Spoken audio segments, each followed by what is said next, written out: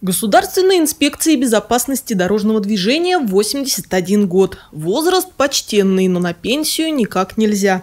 С каждым годом потребность в обеспечении порядка на дорогах растет. В понедельник ивановских госавтоинспекторов поздравили первые лица региона.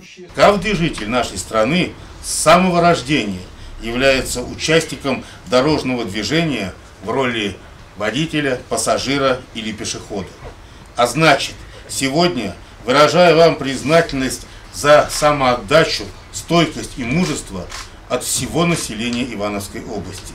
Последнее время на городских улицах появляется все больше автоматических средств фото-видеофиксации нарушений. Но человека бездушная техника никогда не заменит. Это факт. В ГИБДД служат только профессионалы.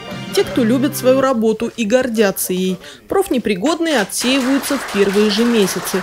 Ведь трудиться приходится и днем, и ночью в любых погодных условиях. Кроме того, важно быть стрессоустойчивым и терпеливым. На службе бывает всякое. Все случаи, конечно, связаны это с ночным временем, когда водители в нетрезвом состоянии были неоднократные у нас преследования. За свою службу преследовал автомобиль до Приволжска, то есть с города Иваново до Приволжска. Его сопровождало порядка четырех экипажей, и в каждом муниципальном округе подключались экипажи. Водитель автомобилем завладел незаконно, находился с признаками опьянения. Служба дорожных полицейских не сахар, и те, кто работают не первый год, действительно преданы своему призванию. Ведь на их плечах большая ответственность. В этот день инспекторы сами себе желают поменьше работы. А такое возможно только если участники дорожного движения будут уважать друг друга. Тогда и аварийность снизится.